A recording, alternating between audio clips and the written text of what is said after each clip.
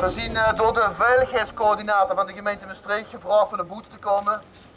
Onze burgemeester, of in ieder geval de burgemeester, of het is, dat weten we niet, maar onze burgemeester die komt nu naar boete toe en die zal de petitie van het personeel eh, eh, ja, in ontvangst nemen, dus verwachten tot hem komt. En dan gewoon voor, hopelijk met z'n allen, en ik hoop dat het druk is, gewoon voor eh, naar het station, want daar stond onze, ja, onze oude klant op te wachten. En ik vind dat we als personeel wel eens tussen moeten voegen en toch in ieder geval moeten zien voor die lui.